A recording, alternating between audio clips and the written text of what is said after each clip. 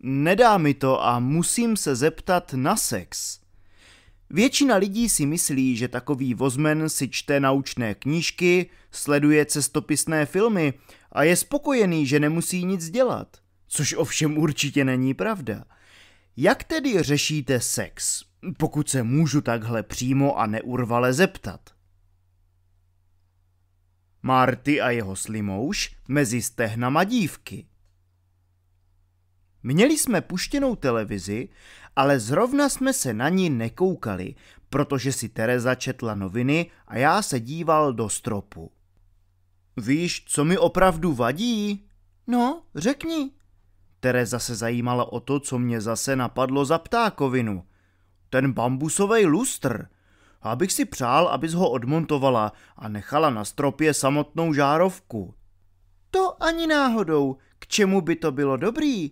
Pokusila se mě poněkud zazdít. Nevím, třeba by se mi líp četly knížky. Ježiši, to budeš pak moc sečtělej, řekla vyděšeně a já se zamyslel. Hm, nechápu, že ti rýžožrouti dokážou vyrobit něco takového, co ani pořádně nesvítí a ještě to nazvou lustrem, kreténi. Ty vogo, se mi do toho vůbec nechce. Tereze se sice opravdu moc nechtělo, ale radši se rozhodla, že mi udělá radost. Nejspíš věděla, že by to bylo se mnou k nevydržení. A tak mě raději posadila na elektrického šemíka, abychom mohli vyrazit k mým rodičům pro štafle, na kterých pak odmontovávala lustr. To jsem šikovná, viď? řekla Tereza, když stála na štaflích se zakloněnou hlavou a právě odvrtávala poslední šroubek. Můžu ti dát pusu? Řekl jsem v momentě, kdy jsem seděl na vozejku opodál, aby mi náhodou nespadla vrtačka na hlavu.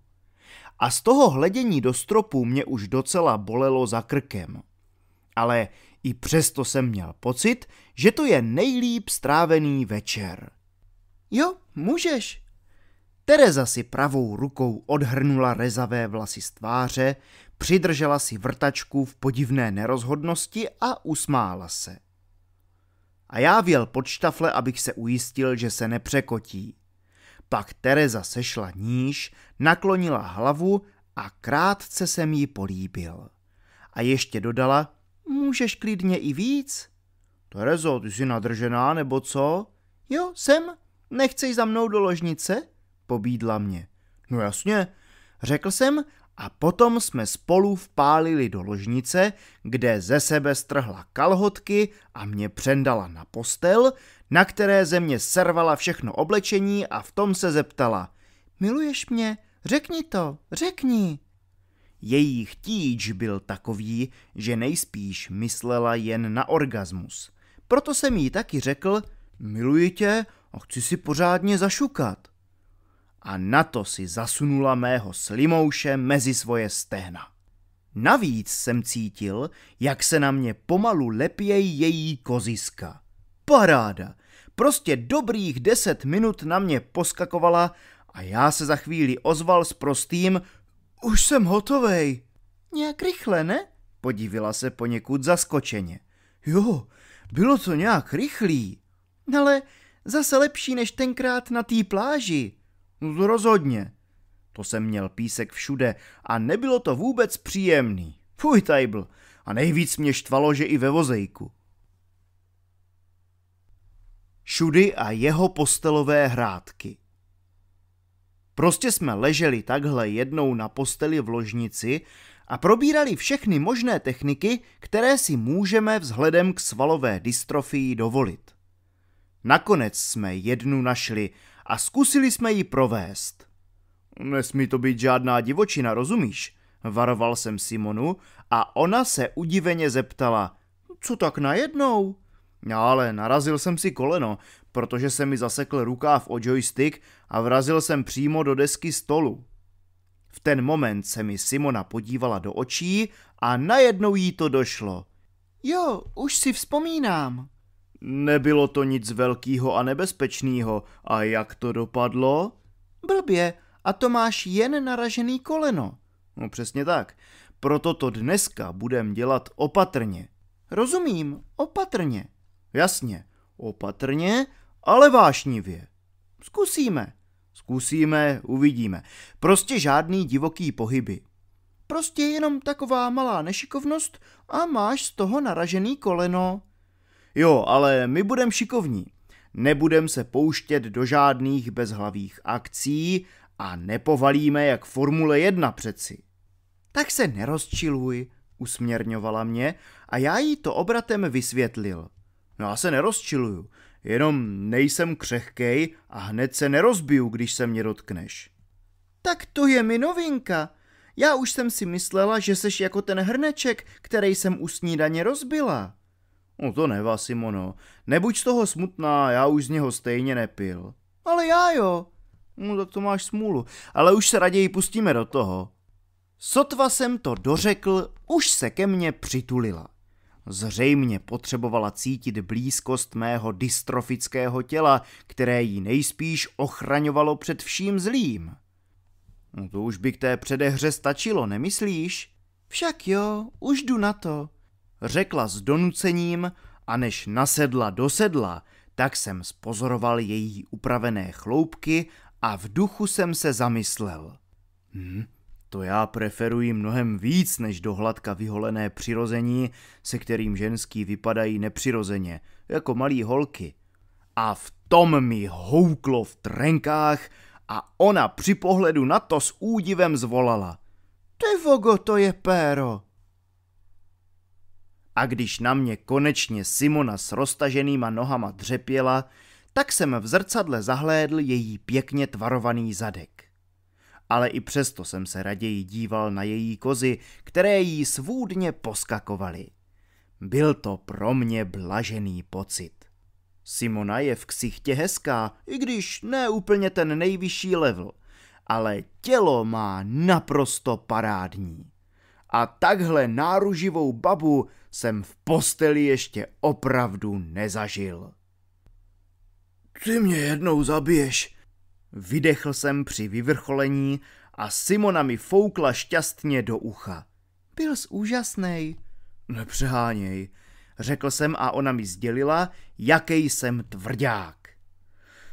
Ale já si osobně myslím, že jsem obyčejný chlápek, kterého si musí ženská zasloužit a čím víc na mě tlačí, tím víc to chci. Prostě jsem se u toho fakt dost nasmál. Člověk by neřekl, jak dokáže být sex s tímto handicapem zábavný. Jedna pitomá svalová dystrofie a tolik legrace v posteli. Škoda, že neměla Simona ještě vyvrknutý kotník nebo tak něco, to by bylo sadomaso a úplná paráda. E, to byl pokus o vtip. Zajímalo by mě, jestli, když se mluví o nemocech a různých postiženích, jestli to nějak podvědomně poměřujete. Jsem na tom hůř nebo líp? Začátkem ledna jsme byli se svýma kráskama ubytovaní v malebném hotýlku na Ramzové. Jo, málem bychom zapomněli. Byl tam s námi i Krišpín, tedy Simonin brácha, který ale není rozhodně žádný svatoušek, neboť svlíká ženský před objektivem a pak je fotografuje. Ale to nám bylo putna, protože to se nedá říct ani o nás, že bychom byli svatoušci. Mělo to pro nás vlastně jedno velké plus – Prostě jsme nemuseli na svých elektrokárách zmrzat pod sjezdovkou, když si šli holky zaližovat, ale mohli jsme si s Krišpínem na pohodu posedět ve vyhřáté restauraci. Byl to vlastně takovej náš asistent. Přidrž, podej a udělej.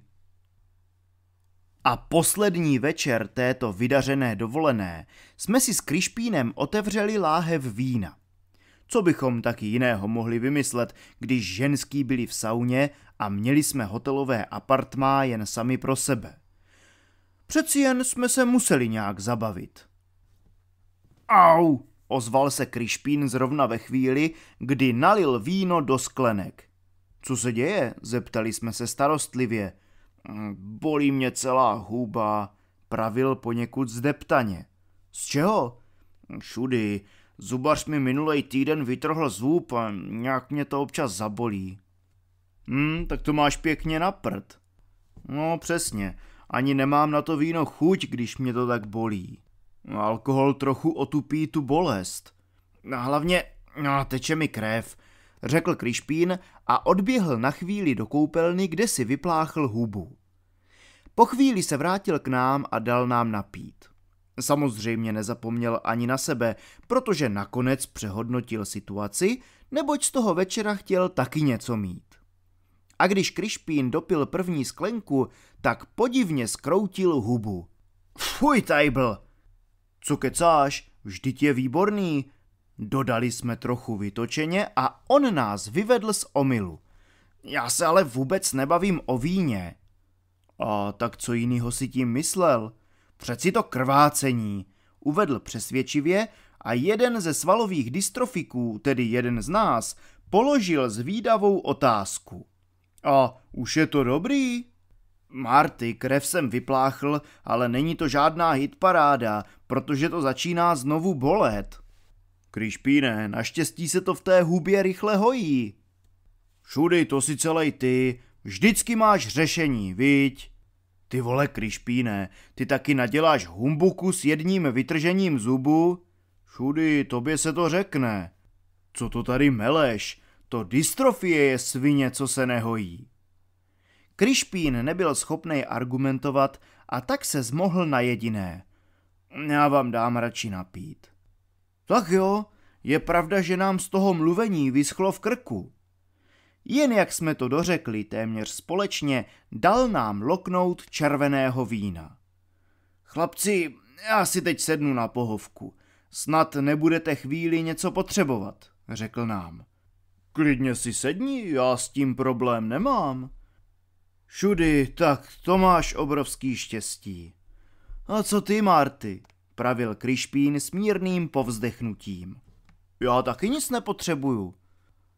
To jsem doopravdy rád, řekl důrazně Krišpín a pohodlně se usadil a asi na pět minut stichl. Po uplynutí této doby se Krišpín znovu ozval. Pojeďte sem. Proč? Nechtěl si s náhodou chvíli odpočinout? Chtěl, ale zrovna mě napadlo se vás na něco zeptat. Pověděl nám Krišpín a my, minimal svalové, jsme rozohnili motory svých vozejků a naklusali před něj. Co si přeješ? Zajímalo by mě, jestli nějak podvědomně poměřujete, když se mluví o nemocech a různých postiženích. Proč se na to vůbec ptáš? Zajímali jsme se oba dva téměř současně. Prostě mě to jen zajímá, řekl Krišpín a najednou poodhrnul záclonu. Pravděpodobně se chtěl podívat, jestli venku náhodou nesněží a v tom zvolal Podívejte se z toho okna! Dali jsme na něj a podívali se z okna. A byli jsme celkem překvapení, protože jsme tam zahlídli ty naše nádhery, jak se koulovali. A to úplně nahý. Marty, ta tvá Tereza je nějak zákeřná. Proč myslíš, Šudy? Ty jsi to neviděl? Vždyť trefila Simonu rovnou do kozy. Už toho nechte a budem radši pokračovat v tom našem dialogu, který jsme ještě nedokončili, okřikl nás Krišpín. Koukám, že tě bude asi lepší poslechnout. No Marty, ještě, že ty máš rozum. Krišpíne neser. Šudy, ty seš pěknej vůl, řekl Krišpín a posléze zatáhl záclonu, neboť nechtěl být podezírán ze šmíráctví. Jakmile zatáhl, vrátil se k tématu. Tak jak to teda máte? Hm, abychom ti řekli pravdu, vůbec to nesrovnáváme. Prostě to bereme tak, jak to je, ale porovnávali jsme to jen v dětství. Jenže to stejně nikam nevedlo, jelikož nám z toho začínalo pomalu harašit. Prostě jsme toho raději nechali. Odpověděli jsme tak, jak jsme zvyklí od jak živa na tuhle otázku odpovídat. A Krišpín souhlasně dodal. Já si to právě taky myslím, že lidi, kteří to moc řeší, na tom nejsou psychicky tak dobře jako vy dva. Krišpíne, tak to teda nevím. Každý jsme svým způsobem na hlavu. doplnil jeden z nás, tedy jeden z přechytralých vozmenů a rozesmátý Kryšpín to završil. Marty to zabil. Řekl zrovna ve chvíli, kdy se vrátili Simona s Terezou, takže jsme měli poklidu. Myslíte si, nebo jste přímo přesvědčeni, že s přístupem, jaký prezentujete na blogu nevzdávejto.cz, se dá lépe žít a dostat se tak přes všední problémy dyšenových jezdců? Jednoho léta jsme si takhle užívali rekreace v penzionu Jiřinka, stojícího na úpatí králického sněžníku, kde jsme se jednoho rána střetli u snídaně, u které náš úsměv nebylo ani obtížné zachytit, neboť jsme se na sebe často usmívali. Restaurace byla plná i ostatních strávníků, kteří jen drnčeli příborama. A každý si hleděl svého, ale my, lehkoživkové, jsme hleděli na sebe a žvejkali rohlíky, kterými nás krmili naše přítelkyně. A najednou se z ničeho nic jeden z nás ozval. Musím podotknout, že dneska to pečivo není vůbec čerstvý. Marty, to je fakt, mně se zdá, že je dost gumový. Přitom včera bylo tak dobrý, dodali jsme víceméně zklamaně a Simona se v tom začala strachovat, abychom se náhodou nezadusili, takže to sdělila Tereze. Hele, nebudem jim raději dávat menší sousta? Hm, taky bych to tak viděla. Holky se na tom zhodly a pak nám začali spát do chřtánu o trochu menší sousta, takže jsme si začali v tom vyloženě libovat. Jenže potom nás přepadla taková žízeň, až jsme vychlemtali celé tři deci pomerančového džusu a jak už to tak bývá, začalo se nám samozřejmě chtít na záchod.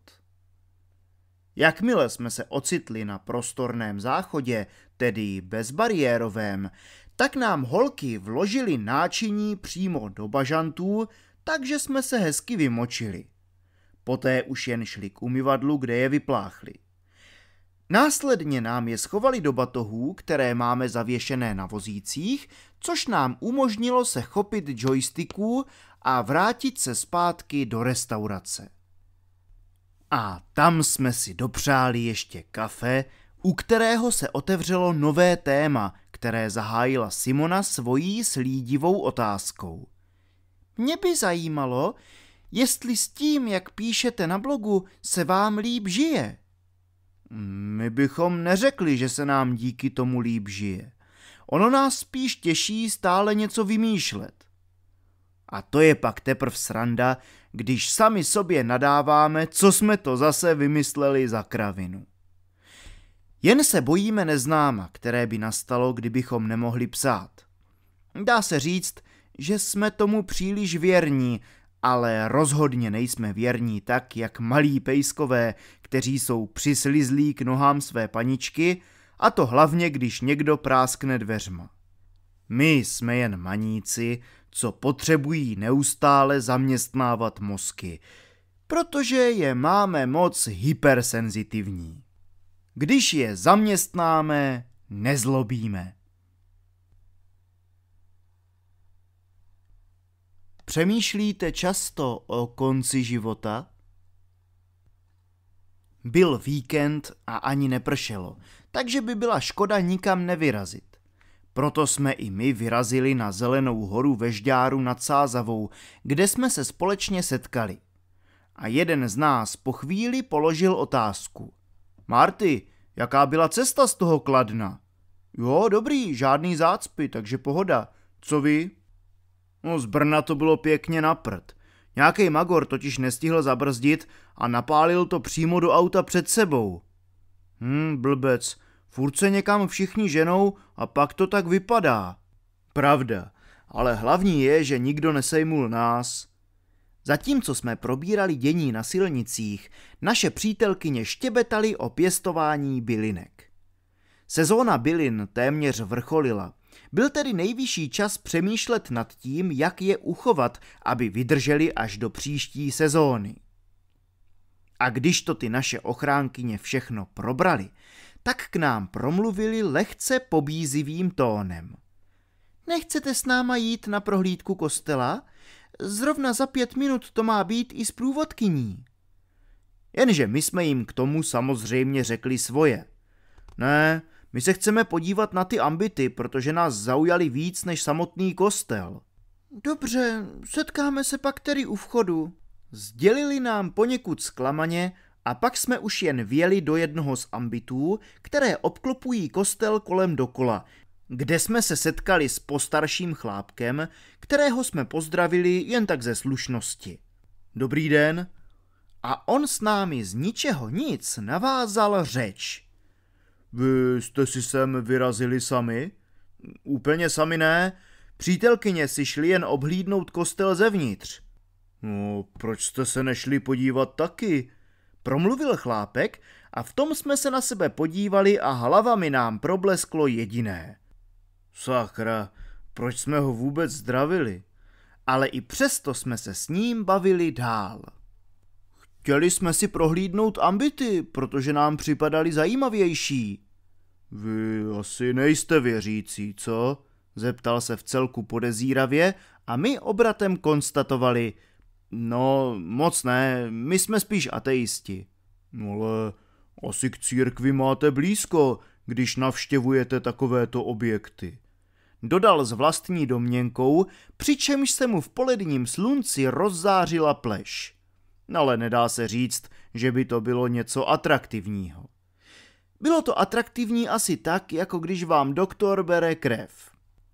Zrovna v tu chvíli jsme na několik vteřin stichli a pak mu sdělili, nás nejvíc zajímá ta architektura. V tom začal chlápek váhat, ale zanedlouho se zeptal. Byli jste někdy na mši? Párkrát jsme na ní byli, ale nikdy nám to moc neřeklo. Objasnili jsme mu to bleskově. Aha, ale tady jsou hodně dobré mše. Pokud můžu doporučit, určitě se tady někdy zastavte. Snažil se nás stále přesvědčit a my jen tak přikivovali. Ano, ano. Přemýšleli jste někdy o konci života? Kurva fix, co teď na to říct, v duchu jsme si pomysleli. O tom opravdu nepřemýšlíme. Já bych vám k tomu chtěl něco říct. Dobře, ochotně jsme souhlasili, jinak by nás nejspíš hodil do vroucího pekla. Ať žijeme, ať umíráme, patříme pánu. Začal do nás hustit svou víru, takže nás napadlo, ty vole, to je asi katolík. Postarší chlápek neustále pokračoval v rozmlouvání. Umírat pro pána znamená přijímat dar pozemského života a žít vlastní smrt jako nejvyšší úkon odevzdanosti stvořiteli, připravení setkat se s ním v hodinu, kterou on stanoví. Není to náhodou z Bible? Zeptal se jeden z nás, dalo by se říct, že až přihlouple. Ono, čtu si ji každý den před spaním. Aha, řekli jsme a on zvesela pokračoval ve výkladu. Žít pro pána znamená zakoušet a poznávat, že i zkoušky a utrpení se mohou stát zdrojem dobra. Hmm, přikivovali jsme znuděně. Děkuji všem, kdo za svoje osobní poslání volí službu pozemskému životu v jeho přirozeném závěru a kteří za svůj úkol berou doprovázení a podporu nevyléčitelně nemocných a umírajících.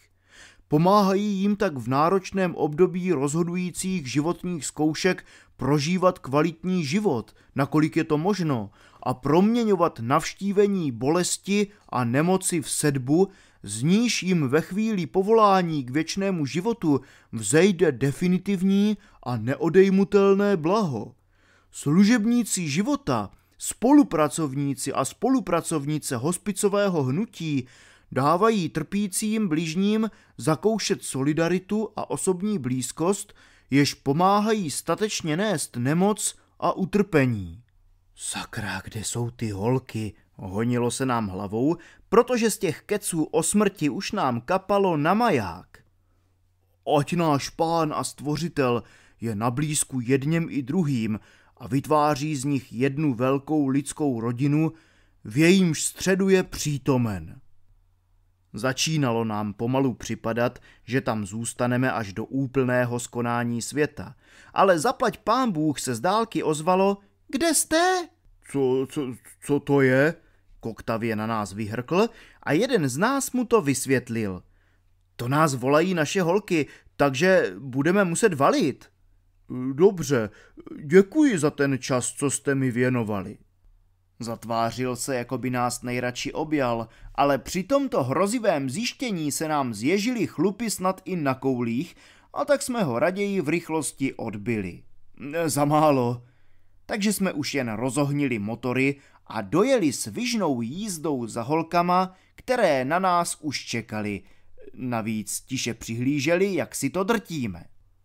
Žehnám ze srdce jak pečujícím a doprovázejícím, tak jim svěřeným nemocným, zvolal znovu chlápek, s kterým jsme se po celou dobu bavili. Jen s tím rozdílem, že promlouval k našim holkám, které to dost překvapilo. Kdo to je? Myslíte toho prošedivělýho chlapa? Jo, tak ten nám vymýval mozky, když jste byli pryč.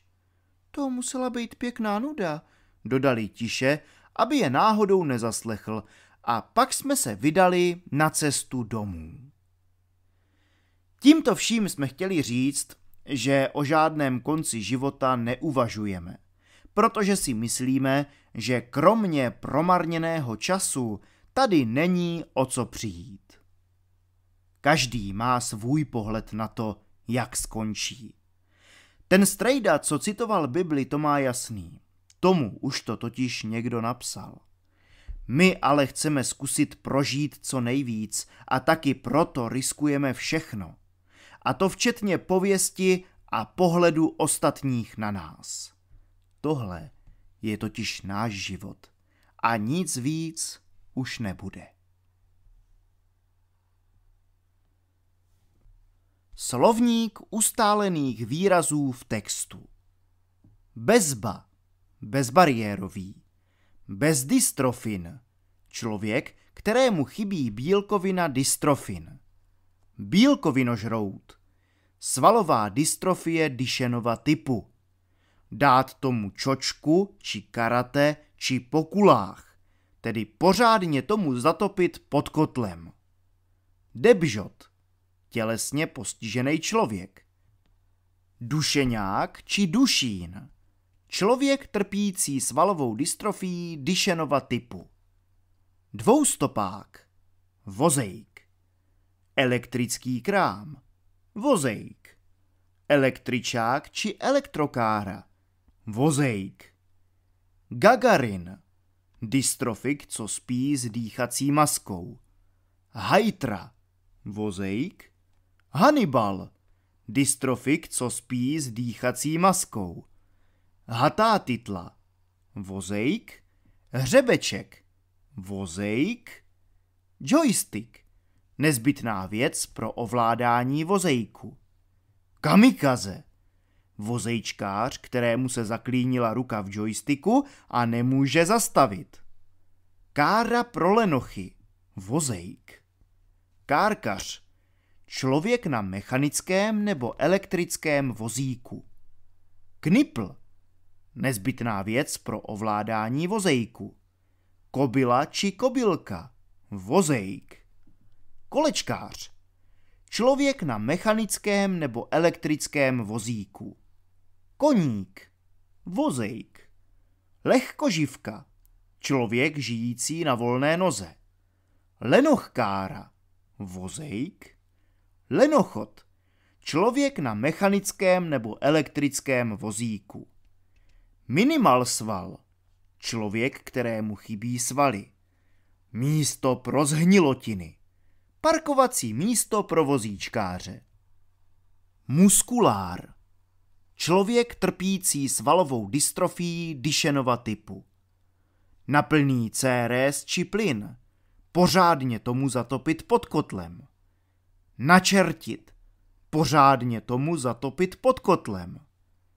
Naprcanej kačer, dystrofik v útlém věku, kdy ještě chodí. Oslík, vozejk. Páčka. Nezbytná věc pro ovládání vozejku. Poník. Vozejk. Prckolet. Vozejk. Prdelář. Vozejčkář, co celý den sedí na vozejku. Rentierský vůz. Vozejk. Rozohnit motory. Rozjet se rychle na vozíku. Slabosval. Člověk, kterému chybí svaly. Srací židle. Toaletní či sprchovací židle. Šemík. Vozejk. Varlatová slavnost. Setkání s kamarádem. Vehikl. Vozejk. Vozmen. Člověk na mechanickém nebo elektrickém vozíku. Vybíjená. Jezdit do úplného vybití. Vyhudrovat pelikána. Vymočit se. Vylejt hada. Vymočit se. Vyvenčit hlemejždě či slimouše. Vymočit se. Skroucenec. Dystrofik, který má skoliózu. ZTP kartář. Člověk, co vlastní ZTP kartu. Žroutosval. Svalová dystrofie Dyšenova typu. O autorech. Jakub Šudák, narozen 2.2.1992. Žije v Brně a je moravákem srdcem i duší. Aktuálně žije v předklášteří u Tišnova. Dokonce v Brně vystudoval i střední obchodní školu. Je natolik ovlivněn brněnským hantecem, že říká místo slunce pálí, zonsna rumpluje a hrnout do paluše říká, když zrovna vyráží do hospody. Martin Krček narozen 6.1.1990. Žije v Kladně a je jeho kmenovým obyvatelem. Takže z toho plyne jediné. Není žádnou naplaveninou. Vystudoval tam i sportovní gymnázium. Kdo by to jen řekl, že bude pocházet ze stejného města jako Jarda Jágr, chcete-li Jagger, ale to je na životě to nejzábavnější, ta jeho nevyspytatelnost.